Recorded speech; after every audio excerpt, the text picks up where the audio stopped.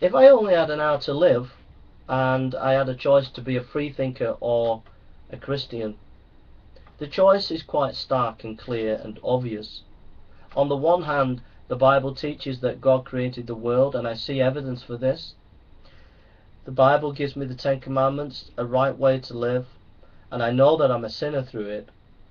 And that Christ died on a cross and rose again and is the Son of God, and He gives attestation to the Old Testament. I trust in Christ because of the evidence of who He is and the reality of Him in my own life. But if I was to trust free thinking, there is no hope when I come to death. Life would have been meaningless ultimately on a cosmic level, not not individually, but on a cosmic level, meaningless, and my death, no hope whatsoever. Yet, if I believe in Christ, I'm believing in a person who tells no lies and who lived a perfect life and who died and rose again. And if I believe in him, I will rise again. So there is hope where there is no hope in atheism. And I can trust this Creator God to have worked in cultures and used the culture, i.e., the Old Testament times, with all the, sacri- the sacrificial and all the stuff that happened in the Old Testament. I can trust the God that he did the right thing as far as he was concerned. My issue is I've got to not believe the God of creation, acknowledge my sin, and trust in his Son Jesus Christ. And that is a greater confidence than atheism, where there is no hope at all. This is solid ground. Atheism isn't even a ground to stand on. So it doesn't pass what I would call the death test.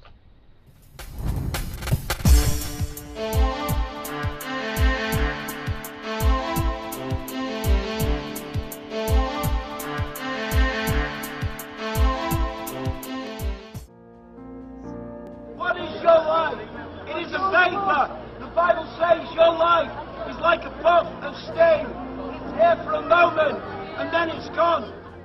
My name's Kevin. I grew up in Manchester, in England, into in the 70s, into a background in those days. You was either considered a Roman Catholic or like us, we was considered an Anglican, which is Church of England. Now, we never went to church. All that means is I was christened as a child. Infant baptism is a big ritual there. It's a big superstition. People believe that you can't get into heaven without some sort of infant ritual. And so the only times in my childhood I set foot in a church was at one of these christenings or was at somebody's wedding.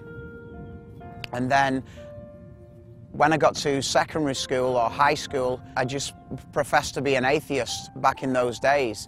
But really, even though I didn't know much about the Bible back then, and I didn't know much about Jesus Christ. I did really know one thing. I, I, knew deep down it was all true, even in the days when I professed to be an atheist. There was just something inside of me, a, a nagging thought, my conscience, which just told me it was all true. And so as time went on, I left school and I just became a, a, big sinner. I drank up as much sin as I could in various ways, and I did things which are real shameful to speak about in that time. And, and so time went on, and I just became a worse and worse sinner. And I got to my mid 20s and I started asking those questions that everybody asks at some point in life why are we here and what happens when this life is over. And i would philosophize. I remember each day i would just philosophize more and more and i'd come up with the most silliest interpretations of things and this would keep on going. But I knew there was a God at this time. I just looked at the whole creation, the Bible says, declares his handiwork. And my conscience, again, just keeps telling me this is true. And at first, I would look at other religions. I wanted to become anything but a Christian. And I remember I looked at things like Buddhism, but it was just all fairy tale stuff. I, I just could not, it was just nonsense, really. And then eventually I started to open the Bible and look at it as like a history book. It was an old Bible that would, was passed down the family from my granddad. And I just started in Genesis verse 1. In the beginning, God created the heavens and the earth. And, and I just kept on reading, and it seemed to make sense. And now I didn't have I didn't really understand it at that time, and I was trying to interpret it through my atheistic worldview. I still had, even though I wasn't an atheist, I still had a naturalistic worldview. I remember reading about the manna in the desert. I was thinking that, well, that must be snow. These people must not really understand these primitive people. And, but I, I, still knew it was all true. And so, and about the same time, I started to go to a high Anglican church, which is basically, it's, it's like Catholicism but without the Pope. It's all prayer book rituals. The sermons there are only 10 to 15 minutes. And there wasn't really the gospel preached there, the message of how to get saved. And what truth I did hear there was all surrounded in hypocrisy. It was all filtered through that. Now, I was, was doing things in that time. I just became more and more religious. I thought I was a Christian for about six years. I went to that church, but I, I never knew, knew Jesus Christ. I never really knew him. And, but there was so much hypocrisy going on. I mean, for instance, me myself, you would have thought for an hour and a half on a Sunday, I was deeply religious. But for the rest of the week, I just lived like a complete hypocrite. You know, I, would go to nightclubs and, and things and, and do shameful things, and then I'd be in church on a Sunday. Now, I knew that was wrong, but I'd look at other people in the church and, and they'd be getting blind drunk as well on a Saturday night. And, and I just think, well, they've been Christians longer than me. And so that this time just went on and, and on like this. And eventually I, I, always knew that there was something more to Christianity I didn't have. Now, of course, it was Jesus Christ, because in this time, God was just always a, a distant deity to me. He, he was just, I didn't really know him. I mean, I had a cliche, you know, I'd say, I've got a relationship with Jesus. Christianity is a relationship with Jesus, but I, I didn't really know him. And, and so I started to, to listen to sermons and messages and look at teachings outside of the church I was in. And I was going through a series on the Sermon on the Mount. And then one day I was sat in the garden listening to a sermon. And I heard the words of Jesus from Matthew 5 27 to 30, where Jesus said, You have heard that it was said of old, You shall not commit adultery. But I say unto you, if you look at a woman to lust after her, you've already committed adultery with her in your heart. And Jesus went on to say there, you know, cast your eye out, because it is better to enter heaven with one eye than to enter hell with, with both. And, and now, the, the context there is, of course, adultery. It's not saying it's a sin for a man to have sexual desire for his wife and vice versa, but Jesus does clearly say in those verses that to lust over someone you're not married to is a sin that will surely take you to hell if it's not repented of. Now, I had heard those verses many times before, and in fact, I remember discussing it only a few weeks earlier, and just ex I explain them away every time, saying, surely it doesn't mean what, he's, what he says there, because everybody does that. Everybody just lusts all the time. But that day, when I heard those words of Jesus, I, I knew it. He meant what he said. I, I, I knew for the first time, I, I realized that God was a holy God who I could no longer play games with. And, and in all this, I just, it just felt like the, the love of, of Jesus Christ because I realized that God could have killed me, I mean, my life is in his hands, and he could have killed me and put me in hell a week before, or a year before, or two years before, knowing the shameful things I did. And he would have been perfectly just in doing so.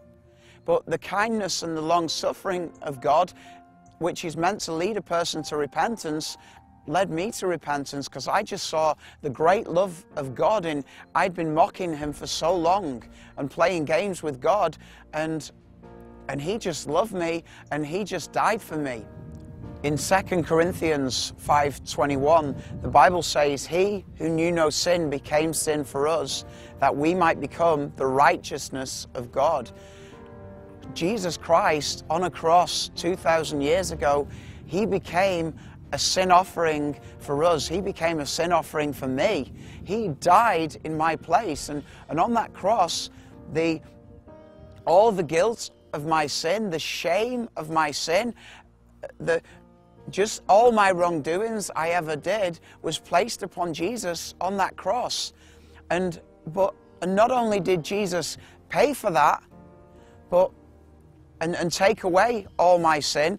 So there is therefore now no condemnation left for me because Christ has already been condemned in my place. But he also lived a righteous and perfect life. You see, the greatest commandments in Scripture, we are told, is to love God the Father with all our heart, soul, mind, and strength, and to love our neighbor as ourselves. Now, in the life of Jesus, he always perfectly loved God the Father with all his heart, soul, mind, and strength, and he always perfectly loved his neighbor as himself for every millisecond of his life. But since become a Christian, we never do that for even one second. We never perfectly love God.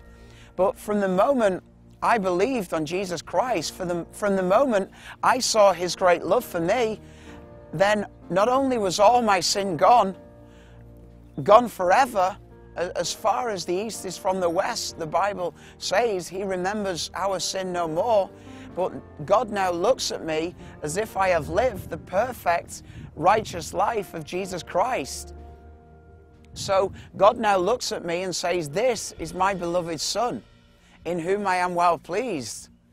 And it, the cross of Jesus Christ is such a wonderful thing that there's an old hymn that goes, Oh, my sin, oh, the joy of this glorious thought, my sin, not in part, not just part of my sin, but the whole, is nailed to the cross, and I bear it no more. Praise the Lord, praise the Lord, oh, my soul. Oh, and if you, you don't know Jesus, if you was like me, with just not knowing, if you not knowing your sins forgiven, not really knowing God, then I plead with you. Jesus really paid it all for you on that cross.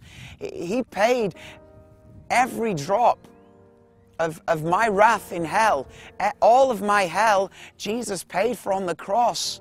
And that is what He did. And it, for, for us, if you will come to Him, if you will surrender to Him, I, I plead with you, Jesus he doesn't want part of your life, He wants all of your life. And He is so worthy, He is so good, He is so kind and altogether lovely. I, I had no life. I just had a miserable, worthless, and pathetic life for so much of my life. I wasted so much of my life. But it was by coming to Jesus Christ, I now have true joy, true peace of the heart, and true life. And he offers that to you if you'll come to Him, and He offers you that to you this day. You see, the love Jesus has for the believer is just perfect.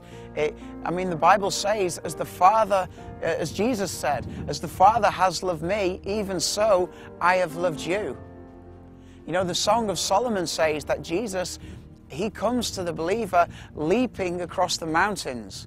After all my sin and all my shame before God, when I go to Him, Jesus comes running to me with His arms open wide, hands that were pierced for me, with holes in for my sin.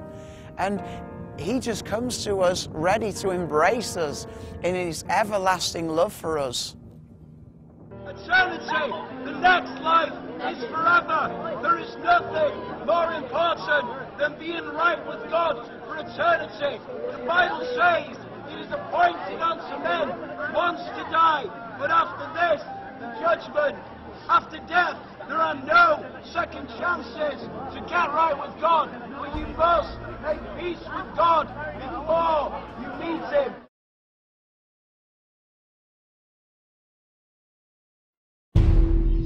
I'llBeHonest.com. And my uncle died well, he was my great uncle actually, and was really close with him. And it was such a shock for me because my uncle was in my prayers all the time, you know, and I was praying as a child. And I couldn't really understand it properly, but I still had no bitterness though, you know, against the Lord, and I still kept on praying for all the other family. And then I just remember then starting secondary school, and then as I entered secondary school, suddenly like things come in, like the Word of God says, you know, things come in and they, and they snatch, you know, the word away from you. Or they, we, we didn't really even have a word because I still at this point didn't even know what the gospel was, but they, they were snatching whatever bit of truth I had away. Friends were coming in, um, just uh, being in the secondary school, just so many things, so many things. And um, and the friends that I had as well, there was a, exactly the same situation as me, never had any Christian upbringing, nothing. And um, I just, I don't know. And then it was like um, I almost became embarrassed then before them to think that I could even think, you know, of, Jesus Christ or that there is a God. And then obviously then as you go through secondary school and and evolution comes in and and from the television, from secondary school, from all walks of life, you can't get away from it.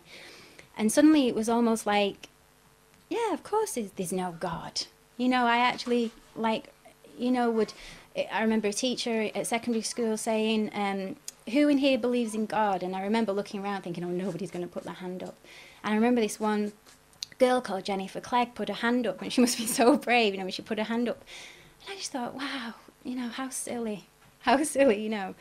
And then I remember him saying, you know, and, and, who, so I take it then everybody else is an atheist. And everybody was like so quick, you know, to put their hands up. You know, it's like it's a big bragging thing, you know, yes, of course, I'm an atheist. And, and basically, so that's where I was through my secondary um, school.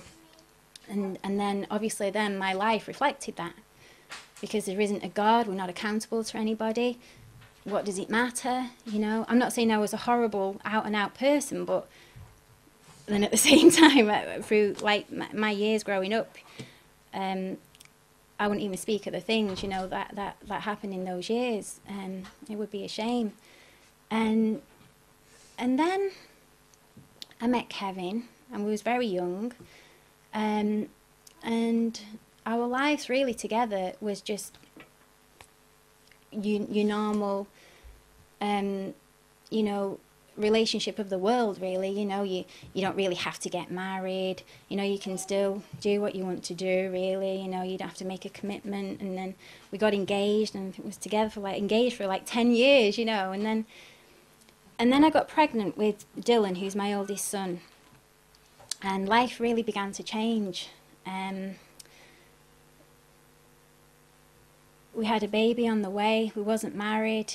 Um, and just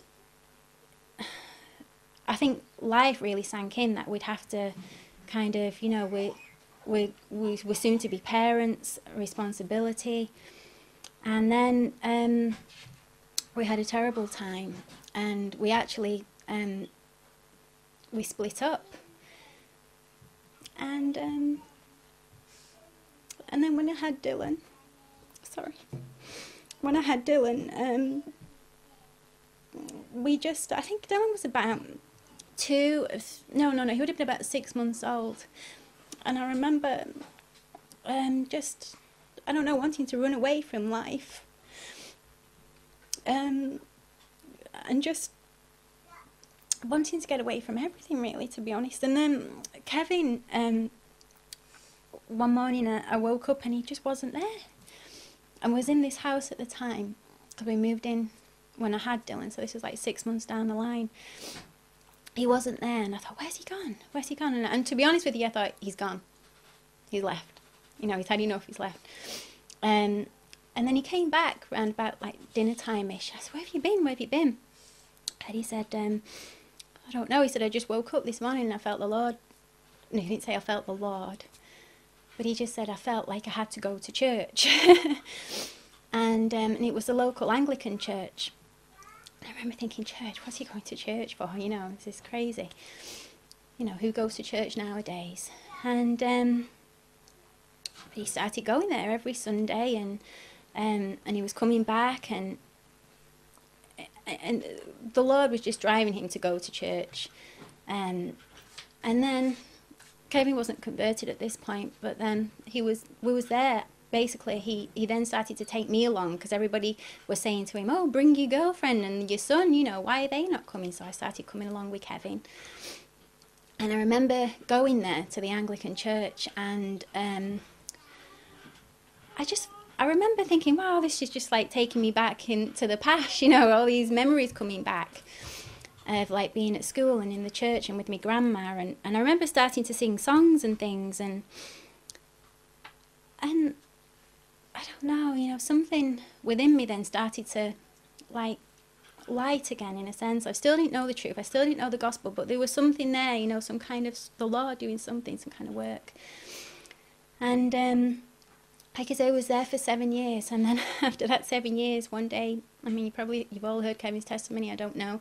Kevin was in the garden, and um, that day was um, I mean, I remember that day he came in the house and he, and he couldn't keep still. He's walking around, you know, and we, we, we didn't know what being born again was that day. We didn't know. Um, but from that day onwards, Kevin just changed. He, he just completely changed. And But then you see, rather than that me kind of um, making everything okay, it was then even harder of a battle for me because I thought, oh no, what's going on? What's going on? And then all Kevin could do was just reading his Bible all the time.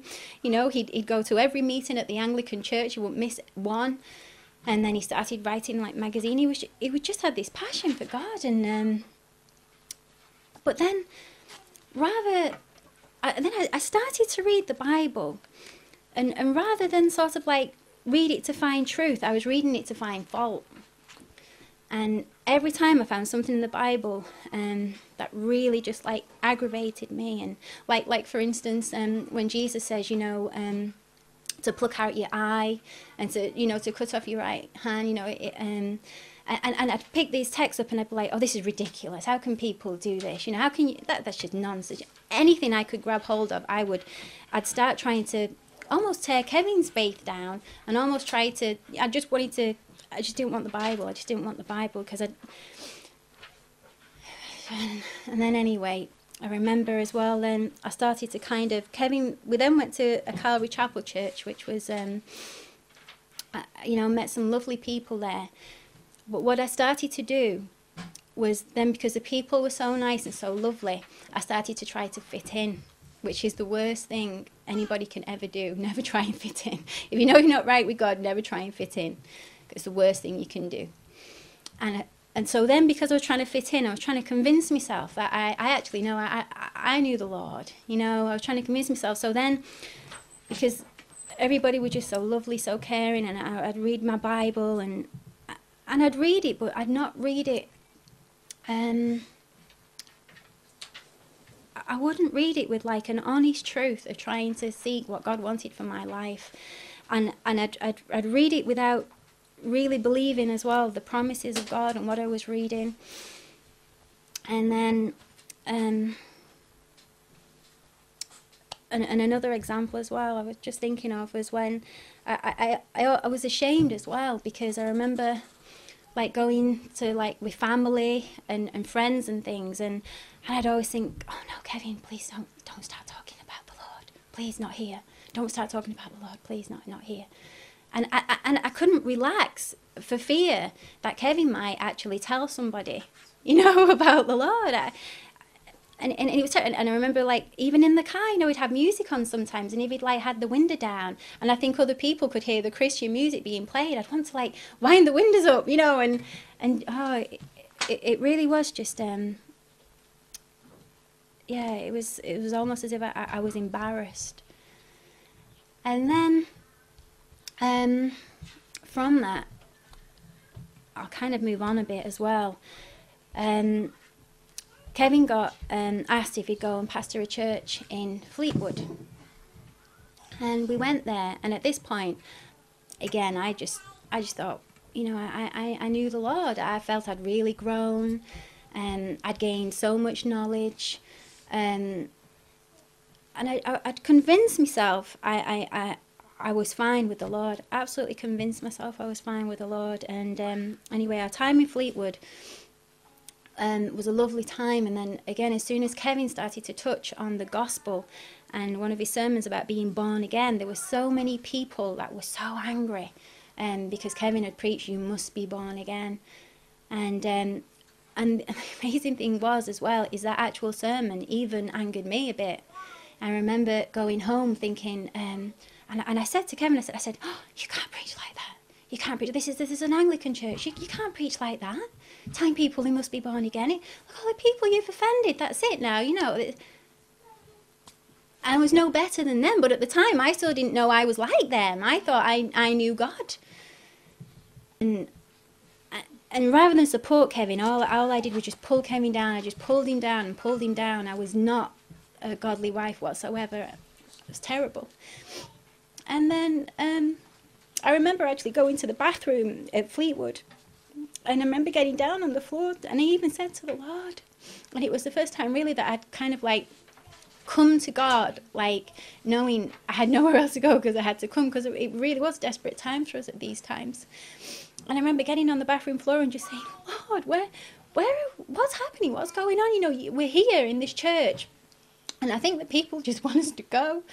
Where, where are we going? What are we supposed to do? And the scripture even came to me where um, the Lord Jesus says, you know, the, the foxes have holes and the birds of the air have nests, but the Son of Man had nowhere to lay his head. And I just think the mercy of God, because if he could even speak to me then, when I was miles away from me, you know, the grace of God and the mercy of God. And I just got up off the floor and it was like an answer. And I just knew from that point we weren't staying. You know, didn't even have to wait for like what the people had to say. It was like the Lord had told us we were going, you know. And um, so anyway, um, this was um, 2009, Christmas 2009, we came back.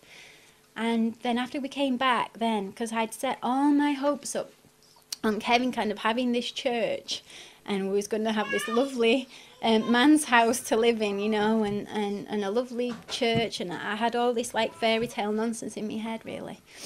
And the Lord had like, it's almost like He just swept the rug from under my feet, you know, all, all my hopes and all my dreams, they're just gone. So we came back to this house and I just fell into complete depression, complete and utter depression because um, I didn't know where I was anymore.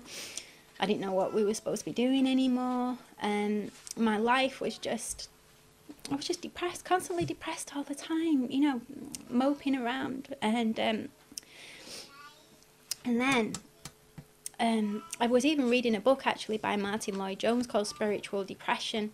And, um, and it actually, it, it, it helped. And um, so I started to, to seek God a bit more earnestly.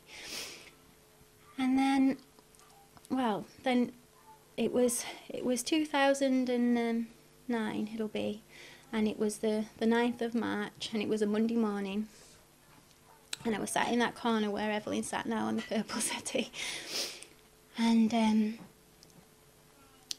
I just I was just really really down and the night before I was reading in Romans um, I wasn't reading Romans chapter 10, I was actually reading Romans chapter 11, where basically um, Paul talks about um, the vine, you know, and, and if we're being grafted in, how much more should we live for Christ, you know? But it, that had like, it had, it, it wasn't, it wasn't doing anything. I was kind of, my mind was all over the place, and um, and then my eyes jumped to Romans chapter 10, verse um, 13 and um, and I've heard it said it's like sometimes when you're reading the Bible it's like you've got 3D glasses on. And you you know and the, the scripture just jumps out at you. It's like shh. This is what happened. And I just saw the scripture. It said for whosoever shall call upon the name of the Lord shall be saved.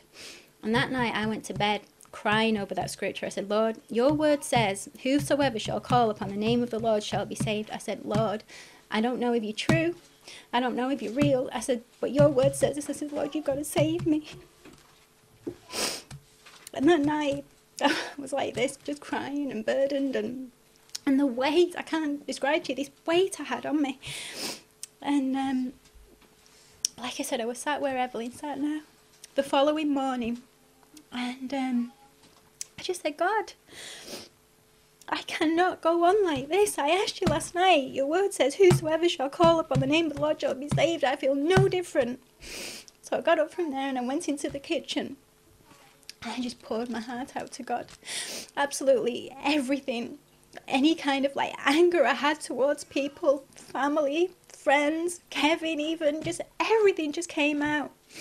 Absolutely everything that was on my heart just came out to God. And it was just, it was everything. Just, just all me feeling sorry for myself, everything came out. And then as I was like just pouring out everything to God, suddenly it was like um I can't describe it. Um, it was like the Lord had just sort of like I don't know. It's like when you're pulling off a jumper and it's inside out. It's like the Lord did that to me, and he and he showed me myself. And for the first time in my life, the things I saw, what the Lord revealed to me that morning, was absolutely disgusting. I'd never seen such a vile person, and I just broke down because I was just such a vile person. The Lord had truly shown me my sin.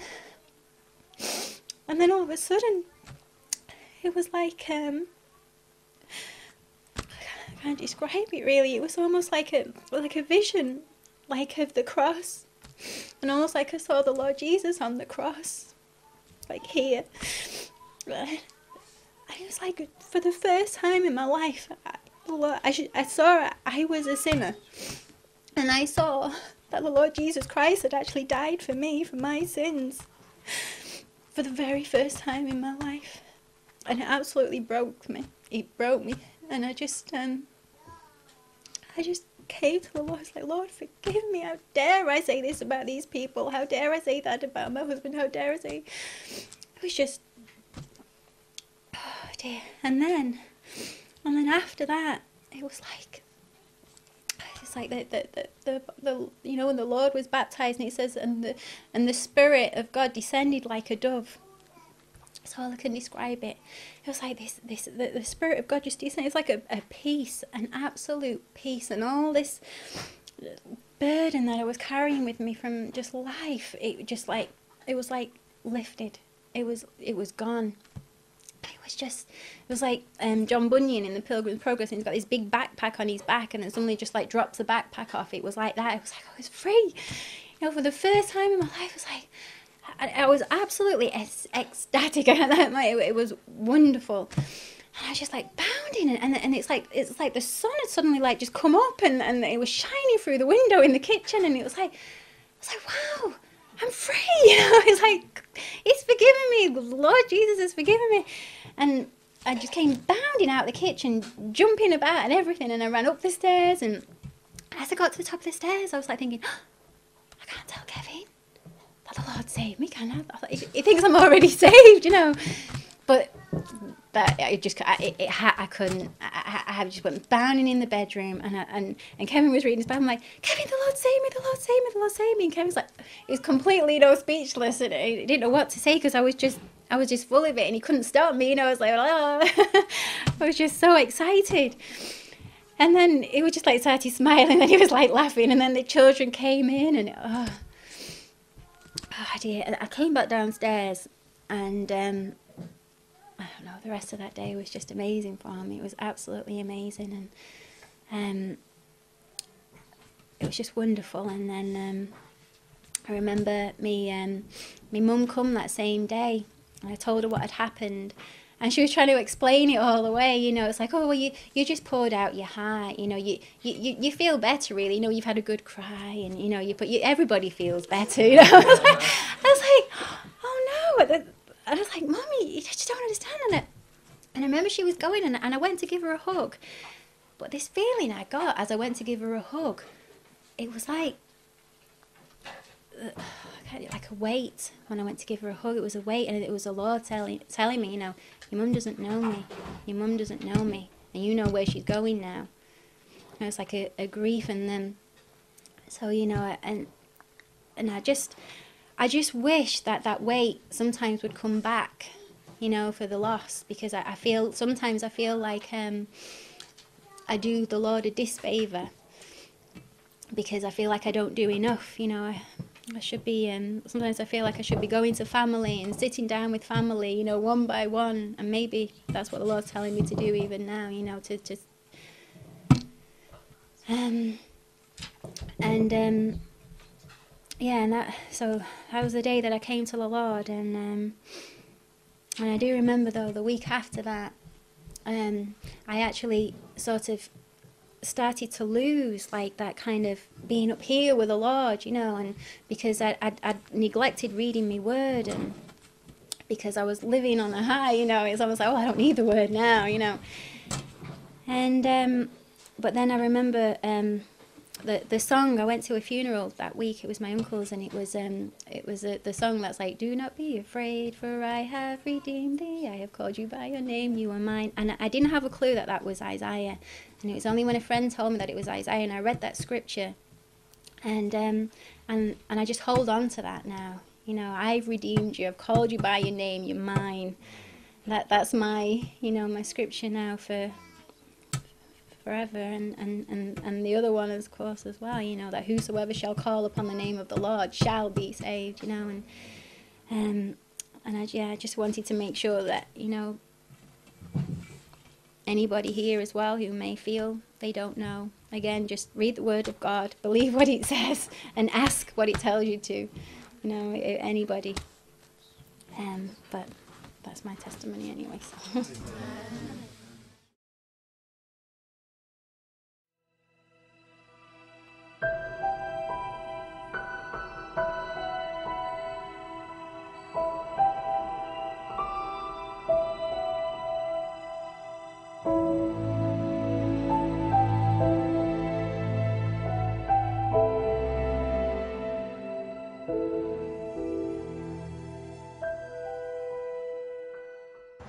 My name is David. I'm 44 years old, and this is the testimony of how Jesus Christ saved me from 27 years of homosexuality. I speak these things in love, not out of hatred. I speak these things out of somebody who's been there, who knows what it's like, who, who knows what it's like to, to live in that, who knows how hopeless it is. Sure, you may enjoy your life, you may enjoy aspects of your life, you may enjoy the sexual aspects of it, the alcohol, what have you, but but there's really no permanent joy in it. Eventually it goes away and you have to do more, you have to seek more. So I ask you to look for the real love, the real joy, the real contentment that can only be found in being made right with God through Christ, through Christ's work on the cross. So I speak these things from love, not, not from hate. I, I speak these things not in judgment, you know, I, am not judging somebody. I'm just telling you what the Word of God says. The Word of God is what's going to judge us. In fact, the Word of God is what says all these things are wrong. I'm only telling people what the Word of God says. Like somebody should have told me, my friend who did try to tell me, he tried to tell me in the, in the nicest way, in a Christian way, that I was living a lifestyle that was contrary to what God wanted, not just in my, my sexual orientation, but in every other aspect. He knew I, he knew I was not really a Christian.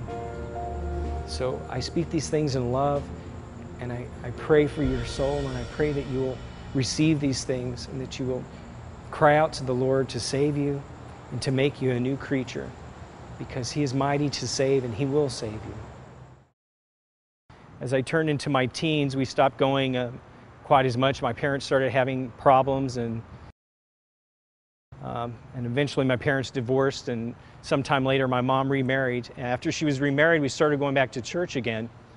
And I remember being kind of glad that I was going back to church, but it was all superficial. I I would listen to the hymns and get emotional and about that time, my friends started going down front and making professions of faith. And so one Sunday, I was moved by feelings and by the music and what my friends had done, and I went down front and made a decision for Christ. I didn't really know what I was doing or understand what was really taking place. I just knew something was wrong, and all my friends had done it, so I felt compelled to do it. So I walked down front and I sat down in the front pew, and the deacon came over and told me I needed to accept Jesus into my heart, and he told me to repeat this prayer. And I, I repeated the prayer, and I remember thinking, you know, is that all there is to it? And the next thing I know, he's clapping me on the back and standing me up in front of the congregation and telling me that I'm saved. And everybody congratulated me on the way out, and we all left and went to, to lunch, but I left there just as lost as when I came in. About two weeks later, I was just as lost when I was baptized because I never really understood what I was doing. I never understood the doctrines of, of grace and mercy. I lived a fake Christian life for, for a while. I, I had the Christian mask that I would wear, and I would pretend to be religious. And I was uh, probably about 16 at this age. And um, even then, sinful desires inside of me were growing. I can remember at, being at church and having sinful thoughts about other people there and other other young guys my age and I remember just telling myself, "Oh, they'll go away, it'll pass away," but yet it grew worse and worse as I went along. And sure enough, it wasn't that same year when in my late 16 being 16, I actually slept with the first male I ever had an opportunity to sleep with. And I remember at first being very ashamed of it and repulsed by what I had done, but yet the sinful nature of me also was satisfied in, in the pleasure of the sin itself. And as time went on, I became more comfortable with it. And I just remember thinking that it was natural, it was normal, and that I was just doing something. I felt that guilt because I was doing something I shouldn't have been doing at that age, but it was really because I was doing something against God. That's where the guilt came in. Before long, I got a job and I started rebelling really against my parents in pretty much every way I could. I turned to drugs and alcohol and was exposed to it at work. I wanted to try to do as much as I could as a teenager and, and live as much as I could and, and rebel against my parents without really having to rebel and move out of their house. Eventually, my parents did kick me out of the house. We had a big, big blowout, and I ended up leaving. And I tried to clean myself up a little bit after that because it was hard trying to live on my own. So I tried to clean myself up, and I thought, well, I'll join the Navy, which had always been my, my dream to be in the Navy. I wanted to be a sailor. I shipped out to boot camp, and as soon as I got away from my parents, that was just like adding fuel to the fire. My sin really took off. I was had an income, had no parental people to answer to. I only had to answer to Uncle Sam, and I was exposed in California to all kinds of sins. It didn't take long before I actually got in trouble with my sins. I let the, my sins, all of them, the drinking, the drugs, the sex, get me into a, a, state where I actually had to go into the hospital. And in the hospital, they ran several tests on me, and one of them was a drug test. And they discovered pretty much all my, my history of drug abuse up to that time. And, and also at that time, my, my sexual sins came out, and that was forbidden in the Navy to be a homosexual. Within a few, few months' time, my whole dream of being uh, in the Navy as a career was gone. So I had nothing left to do but to follow my, my gay friends at that time. They were Canadians and they were living in the States, but they were being, going back to Canada. So I followed them and I left my parents. Uh, I didn't tell them where I was going, I just left and went. And for about two years, I, I lived up there in, in Canada and I didn't tell my parents at all where I was at, where I didn't even contact them. For all they knew, I was dead somewhere. And I remember times where I would be get very depressed and think, you know, is there nothing more to life than drinking and doing drugs and, and this sin? And I was at a party and everyone was inside and they were drinking and doing all sorts of things. And I was out on the patio of the balcony and I, I just, I was so tired of fighting in life and so tired of all of it. And I was so disgusted with myself that I I wanted to commit suicide. And I told myself I could just jump off the, the balcony and 22 stories later, 23 stories later, I would be dead and there wouldn't be any, anything left.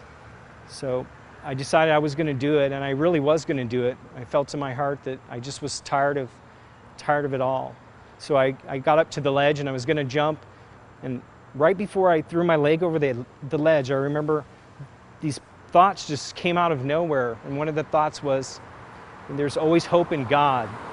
And I needed to find God to find that hope. And then the next major thought that really hit me was that I couldn't do this because it was wrong. It was a sin to take life, even my own life.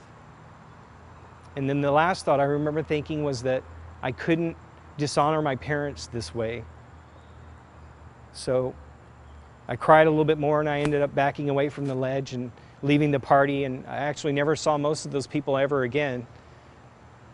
And I continued to live my life though in, in drinking and alcohol. I didn't really clean up myself, or I, I tried to, but it didn't really work. And I eventually left Canada and, and went back home. I, I got caught working illegally in Canada and I got sent back to Texas. And I remember when I got back to Texas, at first everything was good. I was glad to be around my family and everything, but then I started feeling guilty for my lifestyle around them and my drinking and, and all the things I was doing. I, I wanted so badly to, to, to get away from them again. So my partner at the time was getting transferred and he's like, let's go to California. And I jumped at the chance to run, to get away from them, thinking that that would make me feel better. I could live my life how I wanted to. And so we went off to California. In California, things just they didn't get any better. I wasn't a different person. I was just the same person I'd always been, just with a little bit more money now. I had a decent job. Um, I did all kinds of things I hadn't done before. I continued to decline in my sin and, and do more grievous, things. I remember thinking if I could just, you know, try these other things, I, I, I, would be happy, that that would make me happy, that I would be fulfilled, that I would be at peace. And even though with, I was never at peace with, with who I really was, there was always a part of me that deep down inside I, I knew it wasn't right, but I, I still wanted to pursue it. It was who I had become. I continued doing drugs and drinking, and finally uh, I got really sick. I let myself uh, get dehydrated and really bad, and I ended up spending New Year's Eve in, in the hospital with the IV drip, getting rehydrated. And I didn't realize it, but at the time I had pneumonia. And I left the hospital, and I left there and I was really sick. And the dehydration, getting hydrated, helped make me better for a little bit, but eventually the pneumonia caught up with me, and it, it ended me back up in the hospital. And I just remember my, my partner taking me into the hospital, and the next thing I know, uh, it was the next day, and the doctor was coming in and she was talking to me and she said that I had the worst case of double pneumonia she'd ever seen and I was massively dehydrated and had I not been brought in that I would have died. And I just remember I was grateful to God, but I also remember thinking, wow, I'm so young and there's so many things I haven't done, so many sins that I haven't enjoyed. And so as I lay in the hospital the next few days recovering, I mean, I was grateful to God. I did say thank you, but not in the real earnest way, in the sincere way. I was grateful that I had another chance to go out and commit sins against God, sins against Christ. So as I lay in the hospital, I planned and plotted what I was going to do first, how I was going to fulfill my lustful desires. And sure enough, as soon as I was able, that's what I did. I went out and, and lived for lust. I lived for drinking. I lived for drugs. And before long, I was back in that depressed state again. Well, about this time, I, I started going to a, a political action thing, and there was a friend there who was a Christian, and he was asking me if I was a Christian, and I said, "Oh yeah, I'm I'm a Christian. I've been since I was 16 years old." And he asked me what my conversion story was, and I think my exact words were, What is that? And I, I really had no idea what he's talking about. And he said, um, That's the story of how God saved you. So I relayed to him my walking down the aisle at church story, and he seemed rather unimpressed and, and didn't really seem like uh, he believed it. And he kept asking me a few more questions, and after he could sense I was a little bit irritated, he, he backed off, but not before telling me that he really didn't think I was a Christian he knew my lifestyle. He knew I was a homosexual. And he, he was trying to kindly show me that I couldn't live in that lifestyle and be a child of, of God. I didn't understand that. My eyes were blinded by the devil. I was living in unrighteousness and I was suppressing the truth, as it says. I started listening to the radio show hosted by Todd Friel. And I remember thinking, as I was listening to them talking, he was saying something about people that that didn't agree with the Bible usually had a low opinion of Scripture. And so that got me to thinking well, I really didn't have a high opinion of Scripture. I cherry picked what I wanted to believe out of it. I, I wanted to believe I was a child of God, but yet I lived this lifestyle that was completely contrary to what He asked. I broke pretty much every sin there was. I had stolen, I had lied. I probably told 50 lies every day, and it never bothered me. I, I did drugs, I lusted, I fornicated, I did all these things that were contrary to what a true Christian should do. Well, I, I started paying more attention to, to the show and what he was teaching and comparing what I believed to be true to what the Bible said. And I started reading the Bible. And I discovered that none of my beliefs matched what the Bible said, other than Jesus Christ died on the cross. That was the only thing that really matched up to what I believed. I realized I had a God up here I was living for, a God that was okay with my sins. As it says in 1 Corinthians 6, verse 9 and 10, you know, there are multitudes of, of sins. I'm not trying to just harp on just homosexuality. Every sin will separate us from God. Every sin will doom us to eternity in hell. That shows us how holy God is. Sometimes it's hard for us to understand how holy God is we'll turn it around and look at what the Word of God says, but look at it from the backwards. In eternity, one soul's eternity in hell, paying forever. Punishment and torment will pay the wrath of God, will pay the fine against a holy God. That's how holy God is. He's infinitely holy, more than we can ever understand. And it's only Christ's righteousness that is going to save us from that damnation, that's going to save us. It was about this same time that my, my partner at the time, who had, knew I was professed to be a Christian, he was always fine with it. But it was about this time that I really started reading the Bible and paying more attention to, to Scripture and, and comparing myself to, to what the Bible said. It was about this time that he started really being threatened by this whole thing. And he, he really he really fought against me studying and, and reading the Bible. In fact, at one point, he became really verbally abusive and, and started calling me all these names and, and talking about Christians and actually talking about Christ. And I remember when he, when he talked about Christ, I remember something inside of me just felt the pain of that, how wrong it was. I knew that, that he was blaspheming the Lord who had gave, given us all life. And so I'm sitting writing his words down and little did I know that the Lord was going to actually use that to really open my eyes to, to the truth of His Word. So I kept studying His Word and kept listening to the radio show, and I realized that, that I really was living this, this life for me, not for God. I had never really been a Christian. I, at least I didn't think I was. I thought maybe, maybe I just re- needed to rededicate my life. So I started praying to the Lord to please have mercy and, and show me the truth and, and show me, you know, how to live for Him. And about this time, everything just kind of fell apart. The only, the only positive things was the Lord had taken away my desire for drinking. I no longer drank like I once did. He took away my desire for any sorts of drugs. I no longer did any drugs. I didn't even smoke pot anymore, which was really glorious. And I see now in hindsight that it was God's grace and God's mercy in, in giving me those things. And He was making my mind sober where I could be able to, to process and, and believe His truths.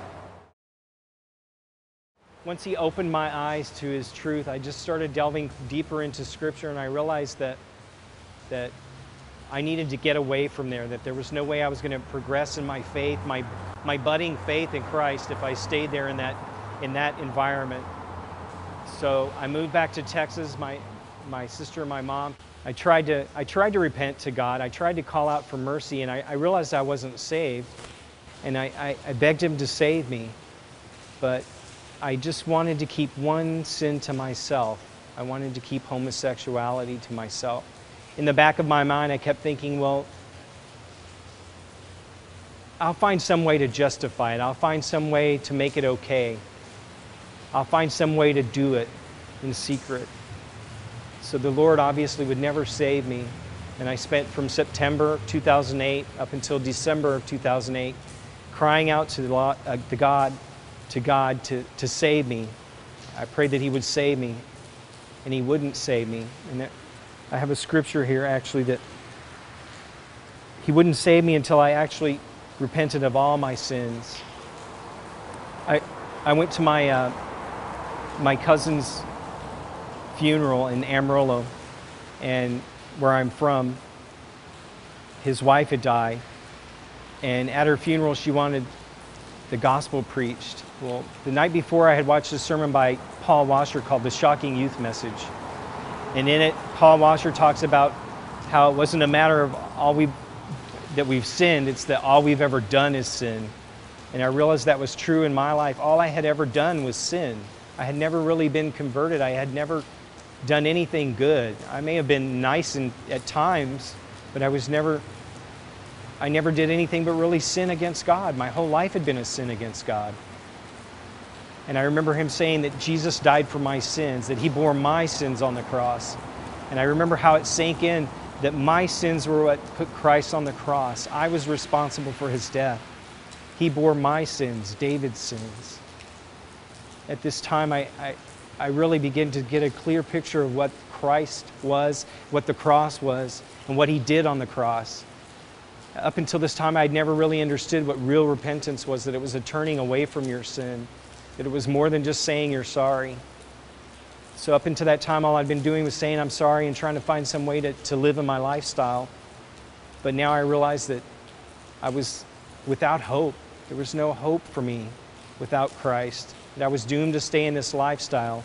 I was doomed to, to, to live out in sin and then go to justice where I belong, to hell. So I cried out to God to save me. And I went to my cousin's funeral and I sat there, and, and her last request was that one of them was that the gospel be preached. So I sat in her funeral and I listened to the gospel and I heard the glories of the cross and what Christ did. And it just sank into me right now that, that that could be me in the casket. And if it were me right then at that moment, I would be going to hell. I would be going where I deserved to go because all I'd ever done was sin. So I cried out to the Lord to, to forgive me and to just give me time to get home and to repent on my face where, the way He deserved. Later that night, when everyone had gone and I was in my room alone, I got down on the floor and I confessed every sin that I could think of. I confessed my homosexuality. I confessed all my, my sins against God, I, all the ones I could think of, everything and I asked Him to forgive me for them and to help me.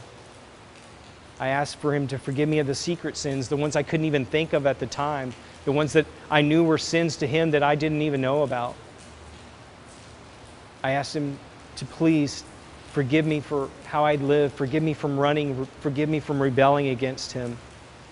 Because I had always known that there was a God and that there was a Christ, but I just never understood what it meant to be in Him what it meant to be redeemed by Him, what it meant to love Him, what it meant to, to serve Him, what it meant to be forgiven, what it meant to be regenerated.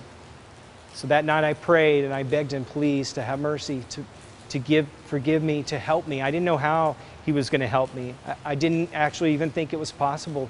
To be honest, I, I really didn't believe that He could help me.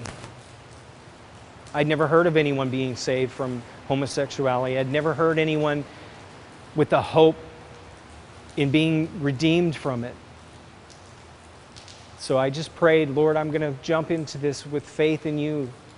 Faith that somehow you will, you will save me, that you will keep me from sinning, that you will make me able to stand the temptations, to stand what may come.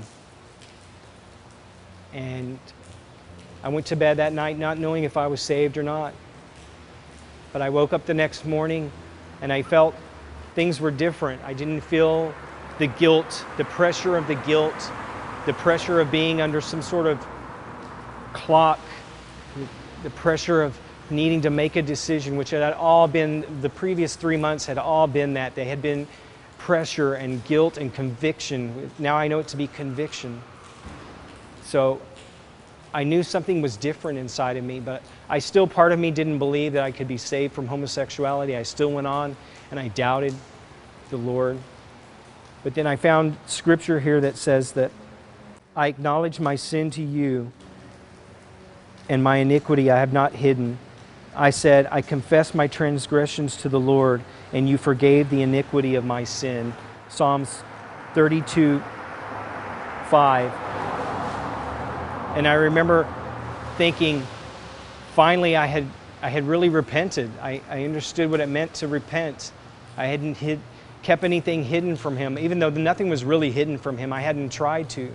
I put it all out there. And that's why I felt different that day. That's why I felt different in the coming days, was because the conviction, the guilt was gone. He had lifted it because he had saved me. And every day from that day forward, I felt, I truly felt the, the desires for those things to fall away. And now I stand and wonder, two, uh, almost two years later, a year and a half later, thinking, wow, God is so good. Here I was, I, I, I didn't believe him. I just leaped out in faith, and yet he did what he said he would do. He would take me, take those desires away. He would make me a new creature, just like it says in his word. He's given me a new heart with new desires. And I thank him and I rejoice in what he has done for me. And I marveled at his goodness and his mercy to me and his long suffering and patience. I feel compelled to, to share this scripture. I had read it before, obviously, anyone who's a homosexual and, and, and listened to preaching or read the Bible has discovered this verse before, but there was part of it I had never noticed before. It's 1 Corinthians 6, verse 9 through 10. And it says, Do you not know that the unrighteous will not inherit the kingdom of God? Do not be deceived, neither fornicators, nor adulterers, nor idolaters, nor homosexuals, nor sodomites, nor thieves, nor covetous, nor drunkards, nor revilers, nor extortioners will inherit the kingdom of God. I knew that part, but verse 11 I had never known, I had never read before. And when I read it, I remember glorying in the, in the truth of it. And such were some of you, but you were washed, and you were sanctified, and you were justified in the name of Lord Jesus and by the Spirit of our God. And I realized that's what happened to me. I was finally justified by Christ, and I was made a new creation. I was predestined to be a servant of His, to, to serve God. And so now I rejoice that he, He's given me that, that new heart, that new desire, the new desire to go out and to serve Him and to do His will and to, to live for Him. Sometimes I'm, I'm still tempted, but I know that there's, there's nothing wrong, there's no sin in being tempted. Even Christ was tempted. So I know that I can turn to Christ in my time of temptation. So I, I take comfort in knowing that. And I also take comfort in 1 Corinthians 10 13 that says, No temptation has overtaken you except such as common to man.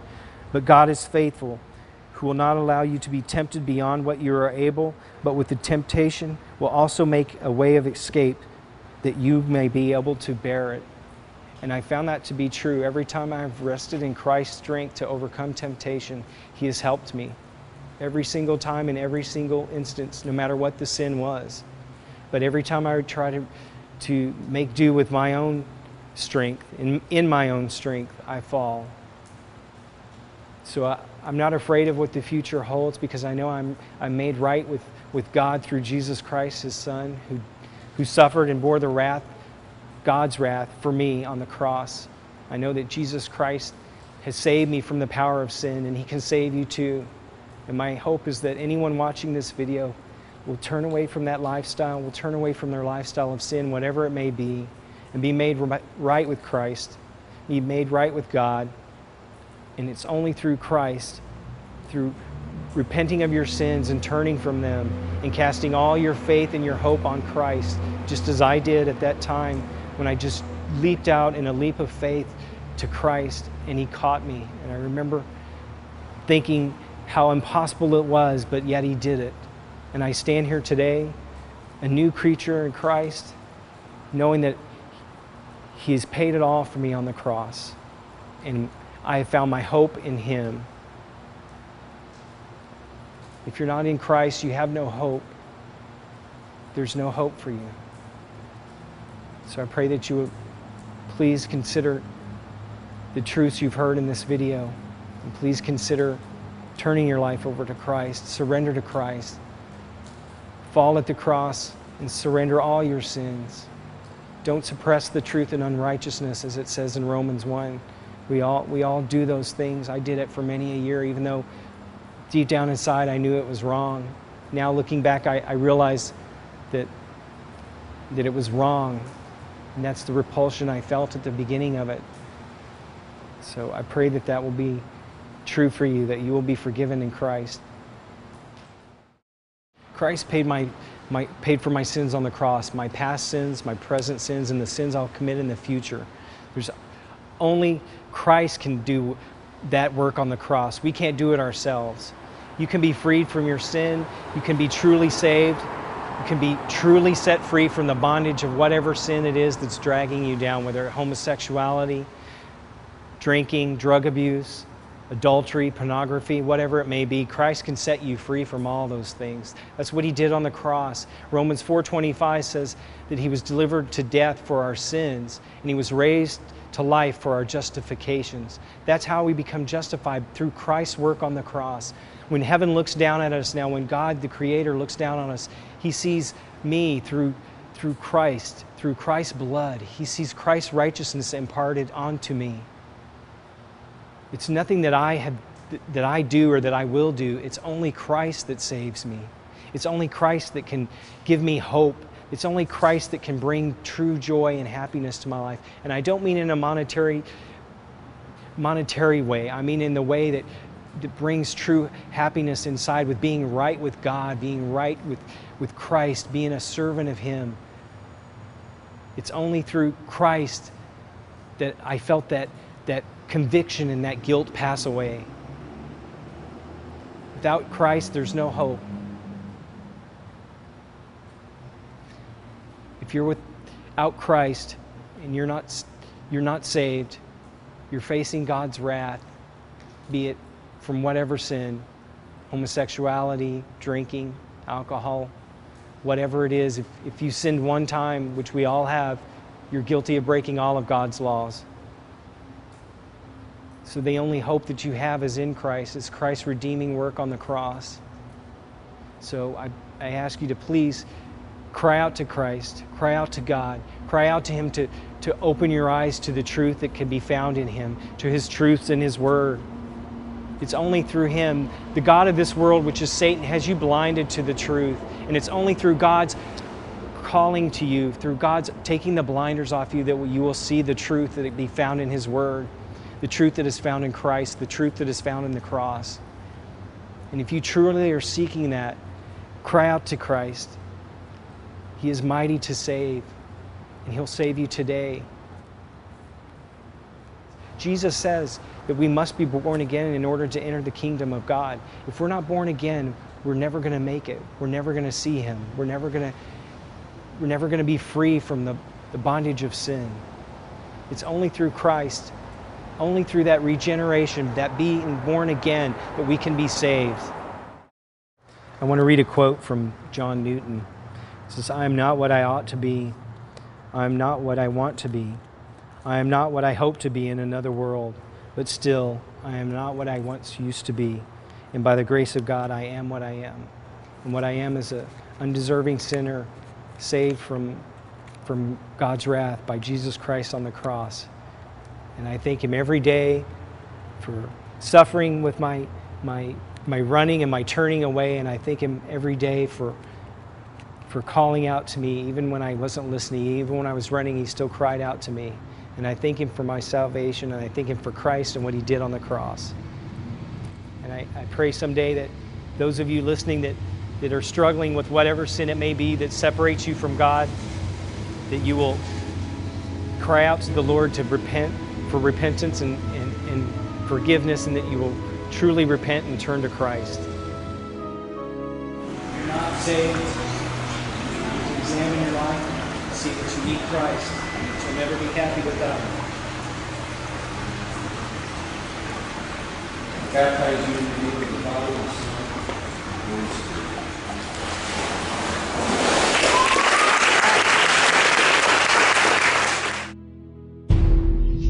I'llBeHonest.com. Jesus Christ, there is no hope. There is no truth with a capital T. There is no even external objects. There is no chair. There is just complete loss. There is darkness and there is blind searching out and just not being able to feel or find anything. My name's Michael. I'm from Columbia, Missouri. Um, I've been saved a little over a year, about a year and a week and a half. I was saved on campus, actually at the University of Missouri here.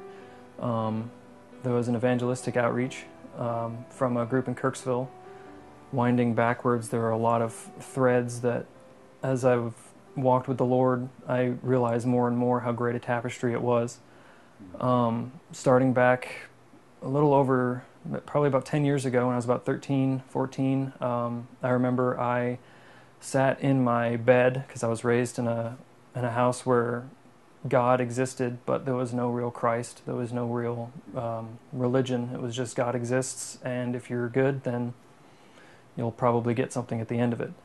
Um, but I remember hearing something about maybe God doesn't exist, God doesn't do all these really remarkable things anymore. So I sat in my bed and I said to myself, well, God doesn't exist.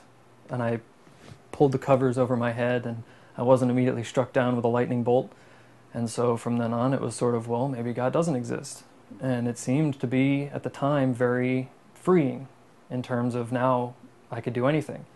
You know, uh, I think it was Nietzsche who said that if God is dead, then all things, all acts are permissible. So everything suddenly became open to me, and I started looking for anything and everything that could explain anything, um, starting with the premise that God doesn't exist. And so over the years, I sort of had this thorn in the back of my mind, and I went to a Lutheran church. I asked a woman to be my godmother. That really came to nothing. I had no uh, drive or unction to read the Bible, to attend the church. Um, and so, having all of that fail, I started really getting into philosophy. Um, I started really reading guys, you know, like uh, Descartes, Nietzsche, um, Freud, uh, the newer atheist guys later on, like Dawkins and Dennett, and all of these guys, and basically searching and scrambling for absolutely anything that seemed like truth to me. It didn't necessarily matter if it was provable outside of myself, uh, just that it seemed right. Um, I mean, there's uh, there's a it says in Scripture that there's a way that seems right to a man, but its end is death, um, and it really sunk me down low. Um, there was no real value to any of it. Um, I've still got the scars very faintly on my arm that uh, testify to how low I got um, in just depression and all of these other things. And I just tried to seek absolutely anything else. And so I tried to become this intellectual, try to go through men to find the reason for everything, since men are all that we have. Um, and so, to that end, I started studying at the university philosophy and getting really into um, all of these theories about how you can't, going from Descartes, you can't prove anything outside of yourself, outside of your own mind.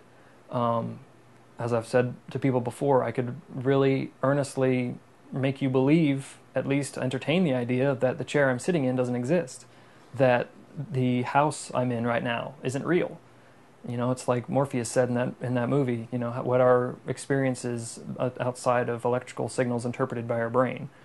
And if you go to the logical conclusion of that, really they're nothing, which means that we are nothing, which means that everything is inconsequential. So, what's the point? You know, and it that just sort of stuck, and I started being okay with that. Um, but as I started studying more and more, I took a class uh, probably year and a half to two years ago now on the varieties of religious experience because it seemed to me that regardless of my lack of faith, um, there was something still valuable about faith. Um, there was still that thorn that said that there was something amiss. Um, and so, in the varieties of religious experience class, I really got a sense of a faith in faith, and I valued people who had faith because it seemed like there was something else. I didn't know what, I was just looking for it in men. So the it became what I was looking for in terms of truth, lowercase t. Um, and so through seeking that in this class um, and through reading uh, one of Richard Dawkins's books, actually, a uh, strident militant atheist, leading me to consider the things of God as pretty glorious. Um, he considered it a perceptual burqa, which is essentially what he means by that is that when you have a burqa, you have a very small window of perception, and there's so much else. And the everything else that humans can't possibly perceive was an idea that really stuck with me. Um, I really started considering what that could mean, what if it was these if these religious experiences that I was learning about had anything to do with that, if there was any reality to them. A lot of them just seemed like, you know, they they could just be anything that anybody happened to experience on a cold day and it was just okay, whatever. But there was something in the very core of it that seemed to resonate. It was something was more real than electrical signals. And so I just started thinking about that, thinking about those things, and I decided, okay, well, maybe there is something beyond human capacity. Very broad thought, but that was four days before that Kirksville evangelical outreach, um, where I was sitting and mocking a uh, "I'll be honest" card about uh, how you will know the truth and the truth will set you free. And I was sitting with two friends of mine. We were talking about how ludicrous that is, since you know, truth can't exist outside of uh, perception, and the perception is based on faulty whatever. Um, and we were just laughing about this, and a girl from Columbia came up and talked to me and just asked, "Can I, can I ask what you guys are, are talking about?" Obviously, she knew what we were talking about, but it was that conversation that really led to um, just me thinking about more and more the things outside of myself. Uh, after about an hour, my two friends left the conversation, tried to pull me away, and but there was something different about this person. There was something real, something that really struck me about this person. I couldn't put my finger on it, but um, I really wanted to continue talking to her, and so I continued talking to her for about two hours, I think, after that. So it was about a three-hour conversation at Speaker Circle. Um, and then we parted ways. Um, I think she was sort of pulled away because I guess a lot of people there are kind of used to talking to atheists and are sort of hesitant to follow up on that because there's a lot of just animosity. Um, I mean, I started mocking them. Was how the conversation started. So it became very clear that what she believed, she believed so much more mm. than anything that I believed. That she had to have some some kind of truth that I was just not privy to at all. I had no idea what she was referring to, what she was pulling these arguments out of, because I was trying to get at her at any sort of argument that I could about morality questions, about really sort of painful questions about like abortion and all of these other things like murder and rape and all of these things.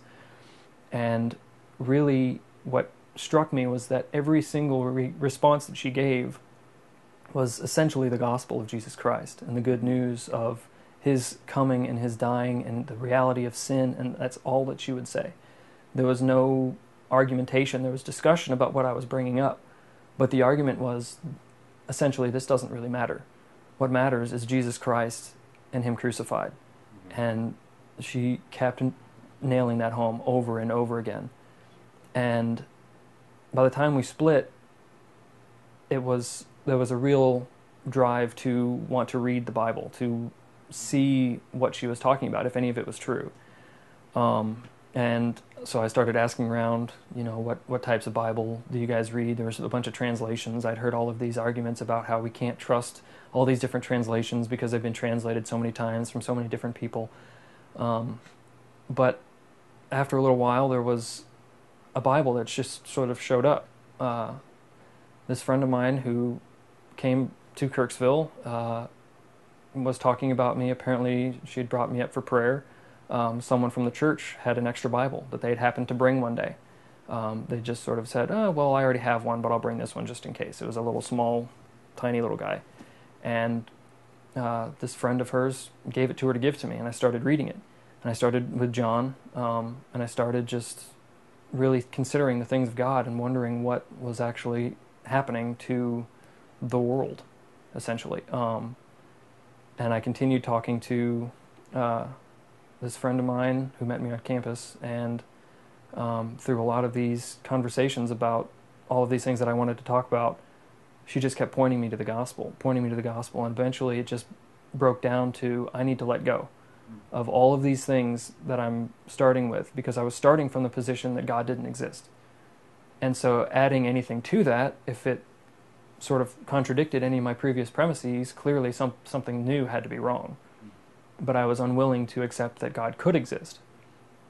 And so, um, you know, I was reading things on, uh, like, uh, uh, there was an article by Horatius Bonar about letting go and falling into the hands of God um, that was instrumental. Um, I was reading about uh, the Lord's work in people in Africa who had never heard the gospel, and He's saving these people. I was hearing about um, all of these amazing works that the Lord has done, all the while thinking that, okay, even if the Lord is real, then I must be reprobate.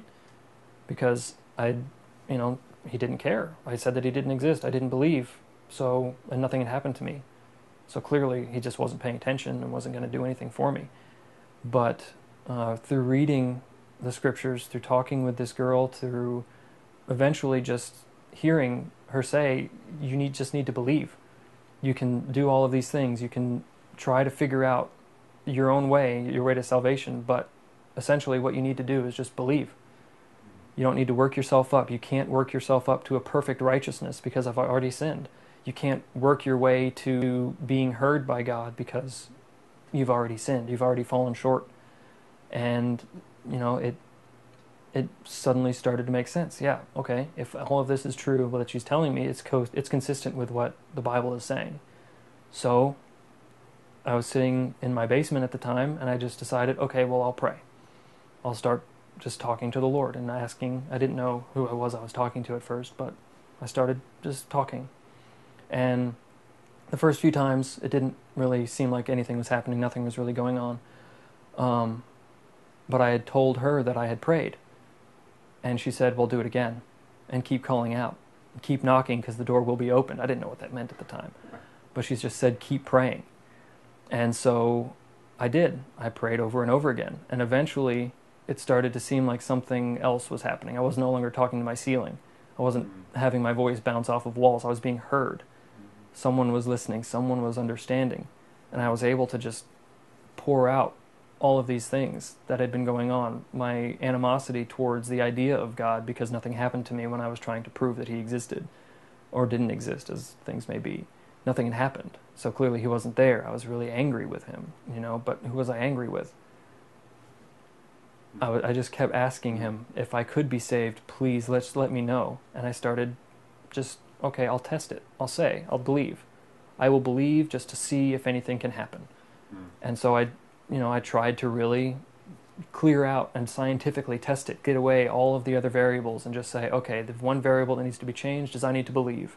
So I started acting like I believed, and I prayed like I believed. And it wasn't like a, a play acting type thing, it was really putting myself in the position to believe. And the more I did that, the Lord provided very little, very a few crumbs, but enough for me to go, this is more than anything that I could have thought of and my faith just grew by leaps and bounds in those few days until the point where I really, uh, I believed that I believed, but I didn't really believe. You know, it, it was about a week long period where I sort of believed that I believed I was going through these things. And uh, one day I work I work night stock, so I stock shelves all night. And I was driving home one day, um, and I was stopped at a stop sign. The sun was coming up in the morning, and um,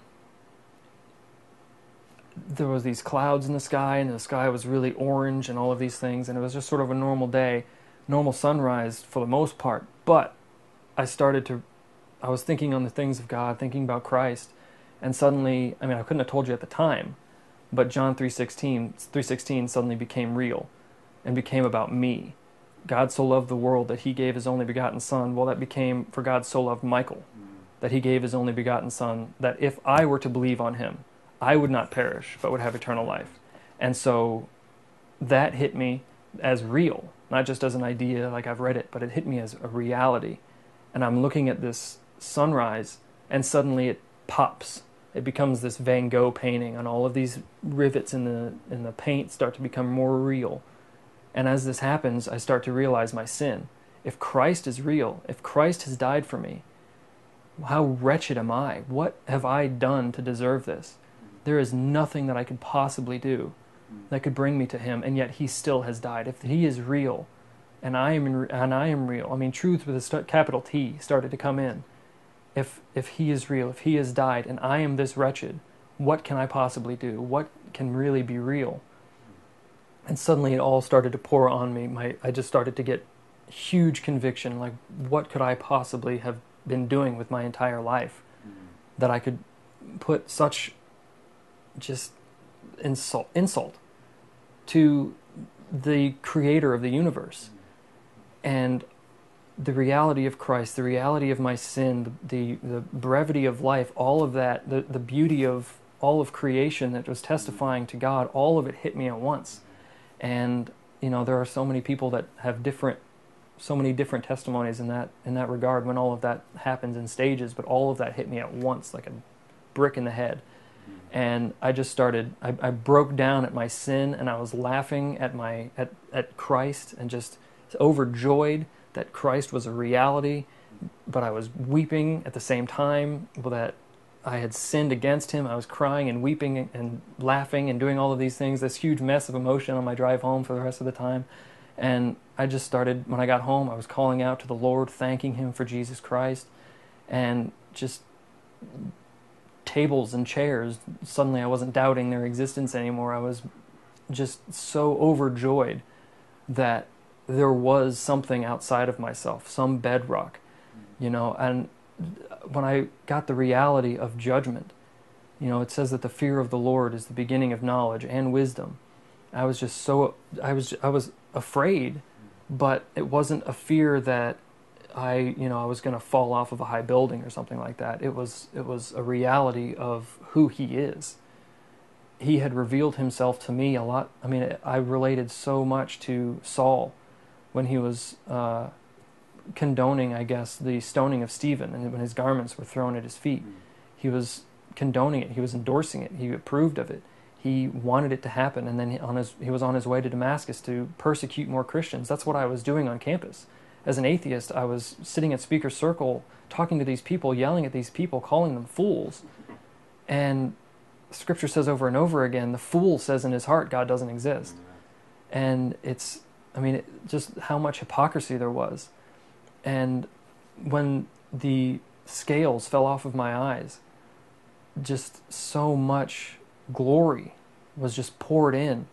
Just the reality that all of these things were made through Christ, for Christ, by God, through Him, for Him. All things are from Him and to Him and through Him. I mean, so much just opened up. The reality of the world suddenly just hit me. And all of these philosophies of men, all of these things that I'd been dedicating myself to, been spending so much time on, in computer games, spending so much time playing tabletop games like uh, like Dungeons and Dragons and stuff, just silly things, just wasting time just so that until basically I was dead because there was no point to life.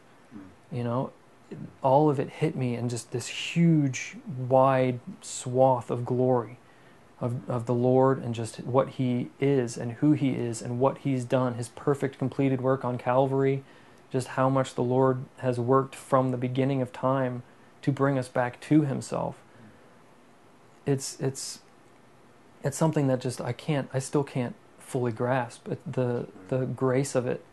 It is truly by grace. If I had any choice in the matter, I really would have just continued to run into hell with my hands over my ears and my eyes closed, screaming, and slammed the door behind me, because I had no reality whatsoever. But through the grace of God, He set it up that this this outreach happened. My heart had been changed the four days beforehand. So many things happened step by step, like a domino effect that I, I could not deny it. I could not. When my when the scales came off, it was like it was seeing for the first time. And you know, there's a, a classic philosophical dilemma of it's called the Mary problem.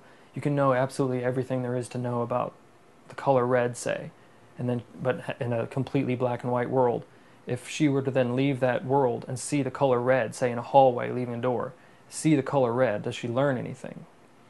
Well, clearly she does she has that experience of a reality, of a new, an entirely new reality, something that, that she couldn't have possibly imagined before. And when your eyes are open, suddenly you can see that yes, there is something moving. There is a reality. We are marching off of a cliff into hell. Mm. And but yet the Lord says, "Call and I will answer. Knock and the door will be opened." And it was through the grace of God that I was even able to see that, and yet and through hearing the gospel, the power of God is in the gospel of Jesus Christ. It it I, I just had this curiosity and I was led to read and I was led to see more and more and it was truly the work of God that that opened my eyes to see just truth. You know, there was I thought for a long long time that religion was adding something to a checklist. I'm a, I'm a Christian, so I'm I'm good. You know, I I go to church even on Sundays. But the call to the call for Christianity, the call that Christ gives to those who would be his disciples is forsake everything. It's come and follow me, and he demands perfection. And clearly, no human being has ever been perfect unless they are also God. All have fallen short of the glory of God. There is none who does good, no, not one. And without Jesus Christ, there is no hope. There is no truth with a capital T. There is no even external objects. There is no chair there is just complete loss. There is darkness and there is blind searching out and just not being able to feel or find anything. And that really is the lost person in general. It is it is the state of everyone outside of Christ. And so really the only way to find anything is through Christ, as all things are made in him and through him and by him. And so I guess the, the exhortation really that I would have is to just let go of that rope of that sinking ship and just see that you that Christ is there, that there is a reality in Christ, and that he will not forsake those who truly seek him in his means. There are so many false gospels, so many things that are just clean yourself up, repent of your repent of your sins because you're doing horrible things and that's it. It's repent and turn towards Jesus Christ because he is faithful to save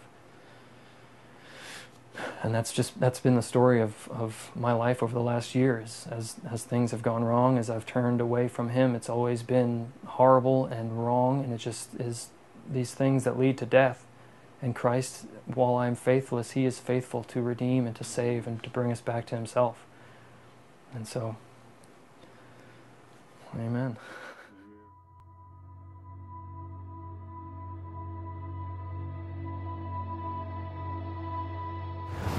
My name's Daniel. I'm 18 years old. And almost a year ago, God saved me. I stand here. I want to proclaim the gospel in my own testimony and just how God did that work in me, that you too may come to faith in Him. Most of all, I want to, sh- to tell you that there's no level of sin and there's, there's no amount wickedness that keeps a man from God, but it's his own pride not to come. And for a long time, I was prideful enough to keep my sin in the dark. I, my dark deeds were not exposed to the light because they would expose them for what they were. And if that was true, God would have judged me. They were true. And He would have judged me.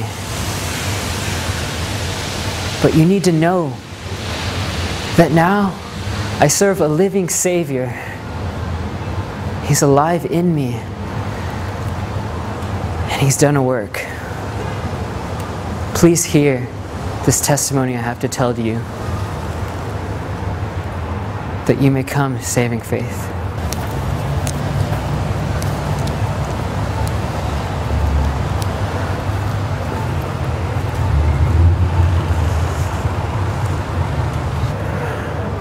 God shows his love for us and that while we were still sinners, Christ died for us.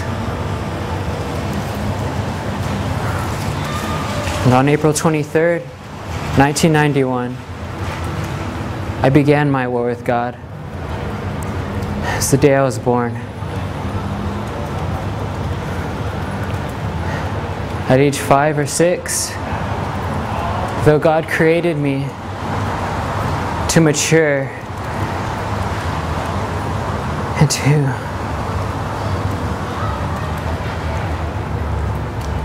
and to be holy and pure before Him. At age five or six, Satan said, Your sexuality begins. And I said, Yeah, you're right. And through elementary and throughout middle school, Satan said, This perversion continues. And I agreed with him. And high school came, and I stopped. I stopped living my secret sexual lust, these actions that no one knew about except God. And the only reason it ended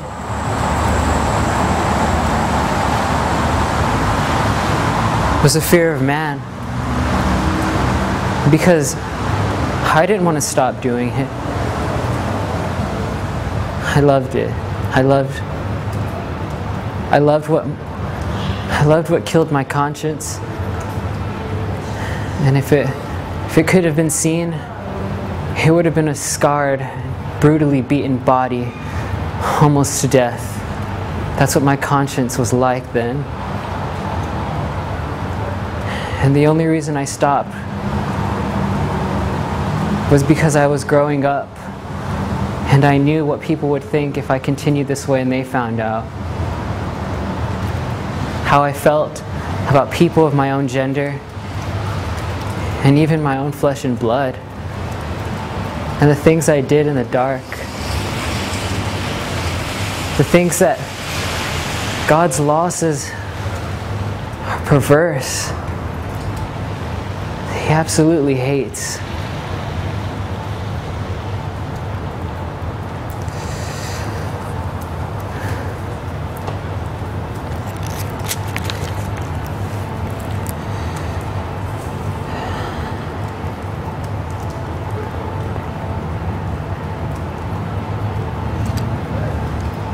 No. I truly didn't stop doing it because it was an abomination to God. I truly stopped because I cared more about what people thought than anything in the world. Even more than my lust. That's how much I cared what people thought about me. Not because I hated sin, I love sin. But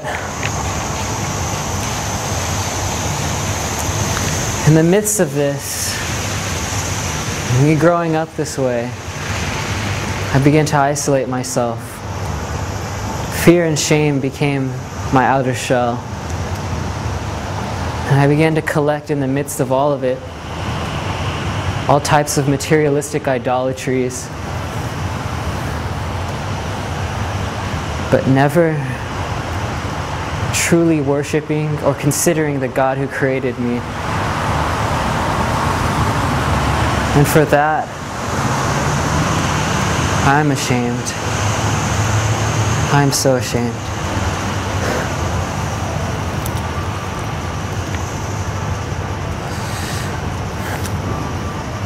With everyone applauding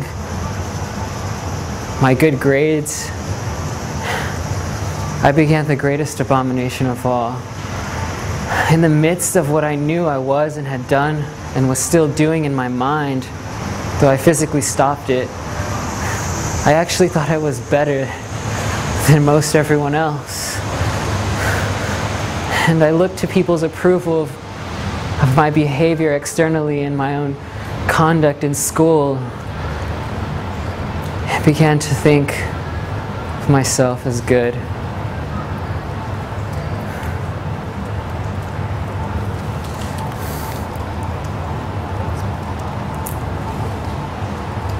But if I had faced God in those days,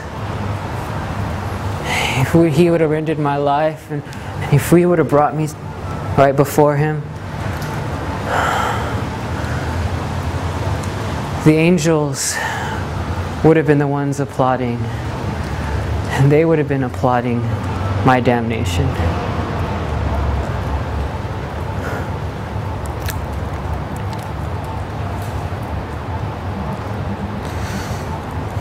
And my teenage churchianity only multiplied what I can imagine God felt toward me. A fierce wrath and wanting to pour out vengeance.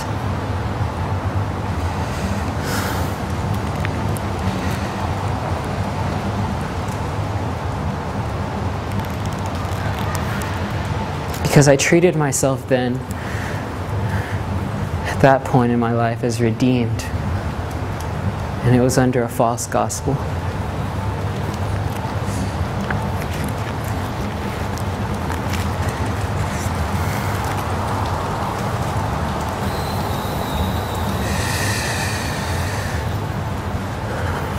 But God,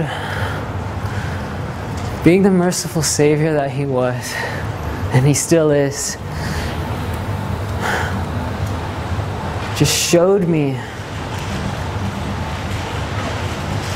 the consuming fire that He is,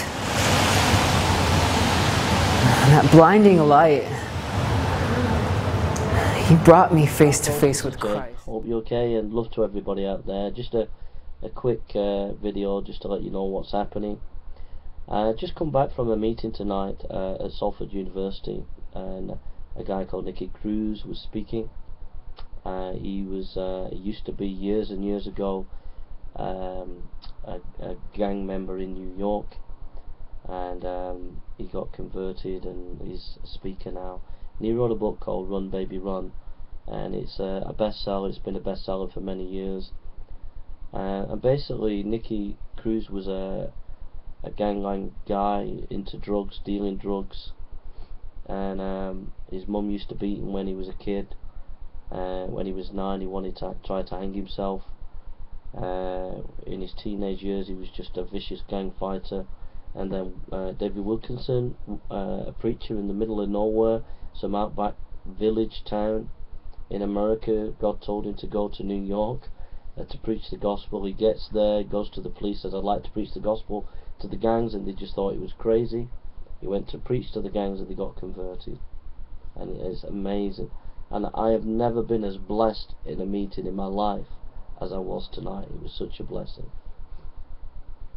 Uh, other news, uh, street preaching's going well. Uh, back in Manchester now doing the Friday and Saturday run uh, in Piccadilly if you want to come down. Uh, give out tracts, do evangelism in Piccadilly, you're welcome to come. Really enjoying it, uh, finding it a tremendous blessing. Through the week, I go to various other towns and cities around the UK with other evangelists and been enjoying it. And I, well, not only have I been enjoying it, it's been the best days of my life, happiest days of my life. Uh, and the blessing is just it, is just wonderful, really. So I'm very grateful for that. Um, so, but if you want to come down, come around with us to the different places that we go. You're welcome to come. Just come down on Friday, Saturday, have a word with me. We can fix you up to come with us. Um, as long as you're evangelical or, or you believe in the gospel. Um, so we, yeah. So if you want to come down, and give out tracts and evangelize with us, feel welcome. Um, yes, um, I'd like to stay later, uh, but I need more of a bigger team, um, especially in winter. So if you'd like to stop later, uh, till about nine o'clock in the evening, um, let me know. It'd be nice to have about five or six people to do that, but we don't stop later than uh, often till about seven o'clock. Very rarely do we stay out later than that. Uh, yesterday I stayed out till about 9 o'clock in the evening. Uh, I didn't have a team, I only had one person left. We had a team in the afternoon, but uh, in the evening just had one person with me. But um, if you want to come and join us, feel free to do so. But the, the preaching, the open air, the evangelism, the things that we're doing, it's just being blessed and, and I'm really encouraged by that. Uh, the third thing, I'm doing a lot of studies, um, really enjoying that, uh, and it pays off. Did a, quite a lot of study on the hadiths. It's paid off in discussing with Muslims on the streets. Uh, fourth thing, I'm just trying to generally stay away from the atheist. Um, I, uh, you know, I wish every atheist well. Uh, I don't want to get involved in any of the drama on YouTube or connected to it. I just want to get on with what I'm doing, and that's just teaching the Bible online and doing apologetics. Uh, I might say hi to from time to time and have a bit of fun, you know, uh, every blue moon. But generally speaking, um, I'm just getting on preaching the the word of God and just getting on with my thing really. So, so I wish all my atheist fans and friends and enemies out there, just wish you all the best. But those days are over. Uh, I've moved on, and uh, just getting on doing my thing. Um, I'm always happy to have an academic debate. I would love to have academic debates, but I only want them with people who, who really feel that it's going to be of value. Um, so if you if you ever do want academic debates, serious academic debates where you you debate me and then that's it, you don't have a Google Hangout afterwards attacking me, but you just want to do a formal academic debate, I'm happy to do that. But generally speaking, I've moved on and, and I'm just getting on with my thing, and I just wish everybody well. Uh, and so I've been enjoying teaching the Bible online on on YouTube and and doing general apologetics, and I hope I can continue to do that, and I hope a few people might find what I teach uh, valuable.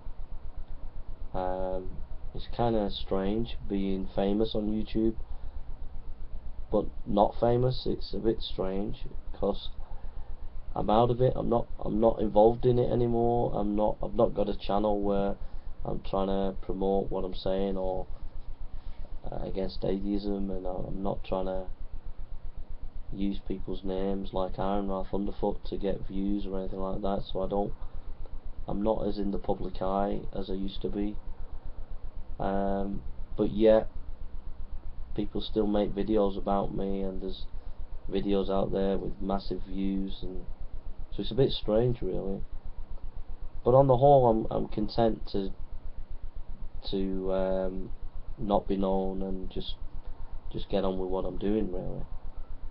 Um, but like I said it's just a bit strange sometimes. You just think look at that video they've made of me. It's like 8,000 people watched that. Look at that vid video that that's another 8,000 views and you just think it's crazy really. Uh, but I'm just enjoying the anonymity is it? And just enjoying preferring to be out of the limelight and just teaching the Bible. And if I'm not well known if I'm not famous if nobody bothers with me it doesn't matter just so long as I'm happy and I'm happy teaching the Bible. Because that's me really. That's what I'm made to do. Um, so I just continue to do what I do and just teach the Bible. Um, I watched the World Cup some of the World Cup because I missed some of it. And I thought Germany were the better team and I'm glad Germany won so when they scored I, I was grateful that uh, they won because I think they deserved it. Um,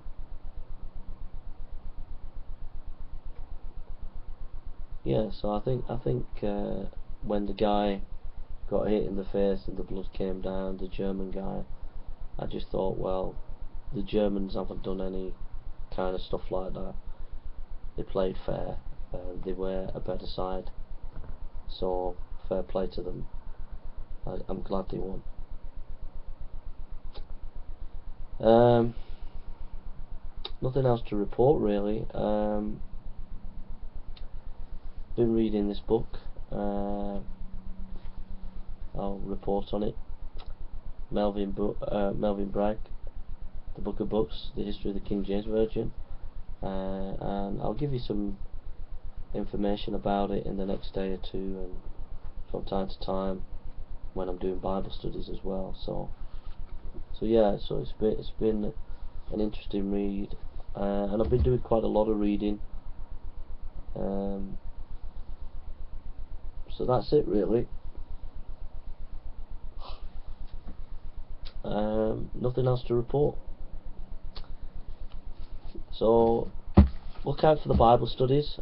Um, I think I'll probably do a lot of stuff on the Puritans in, in the next few weeks. Um, done quite a lot on the Church Fathers.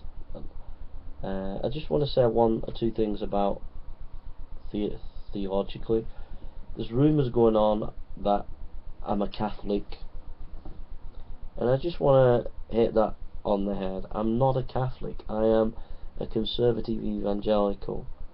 My theology is the theology of Francis Schaeffer and Dr. Martyn Lloyd-Jones. That's where I'm at theologically.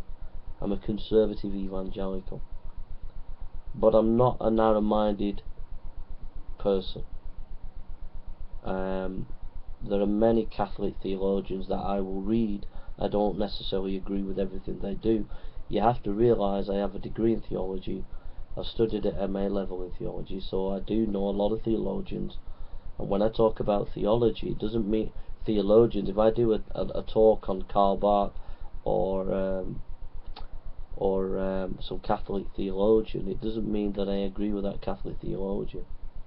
I believe that you I believe that it's good to read widely, and so I will read Catholic theologians and I'll talk about Catholic theologians. And if people then think, well, Jason's a Catholic, well, that just shows your ignorance, you know. Um, and also, I appreciate some of the Catholic heritage. The Nicene Creed is Catholic, you know, and it's our creed. You know, St. Augustine was Catholic, and yet he's part of our heritage as conservative evangelicals. So there's a lot of heritage out there that's Catholic heritage, but there's also evangelical heritage. So I, I, I'm a conservative evangelical, and also I think that there are some Catholics that are Christians, and uh, and even Catholic priests who become born again. Now, I don't agree with them staying in the Catholic Church. I think the Catholic Church has gone astray and has some really bad teaching. That's dangerous. Like confessing to a priest, the adoring of Mary, purgatory, and all the rest of it. But I do think there are people of God in the Catholic Church, and I'm not going to judge them who know Jesus wherever they are. Uh, but does that mean I'm a Catholic? No. Does it mean I support the Catholic Church? No. So I wish people stop talking about me and saying he's Catholic because I'm not a Catholic. I believe in evangelical unity. I believe that wherever Christians are, whoever they are, whatever denomination, if they believe Jesus is the Son of God, they believe the Bible is the Word of God, they believe Jesus died and rose again, that he's the Son of God, God man in human flesh. If they believe the basic evangelical truths, whatever denomination they are in, they are my brothers and sisters in Christ. And so I, I take a, I, I've been a, in the Calvinist circles, and I think a lot of it can be just narrow-minded, narrow-mindedness and I, I prefer to have a wide view of evangelical unity. I'm not for ecumenicalism. I don't believe in ecumenicalism where it's Catholics and Protestants together because that's that's denying biblical truth of we're saved by grace. So I don't agree with that. but I agree that in every denomination, wherever the, there are people who believe in Jesus and the basics of the Christian faith, we should be united together. So I will meet and pray with charismatics, Calvinists, Arminians.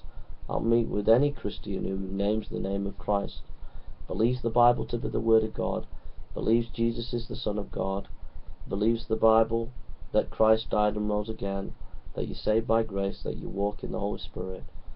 Any Christian who believes these things in a heaven or hell, then they are my brothers and sisters in Christ. And that is what I believe. So don't call me a, a Catholic, because I'm not a Catholic. Um, and that's it really. Uh, if you want to know my theology, just type in Dr. Martyn Lloyd-Jones. Okay, I'm going to go now. Uh, so watch out, there's going to be quite a bit of teaching here and there. And I'll report to you on my evangelism and outreach work and stuff like that. Continue to pray for me. And like I said, if anybody wants an academic debate, formal academic debate, uh, I'm happy to do one every six months or something. Um, anybody wants to do a Google Hangout on a topic, let me know. I'm, i might be interested in that. But uh, so that's from me today. Uh, love to everybody, whoever you are, and uh, just have a good evening. And uh, see you soon. Alright, take care.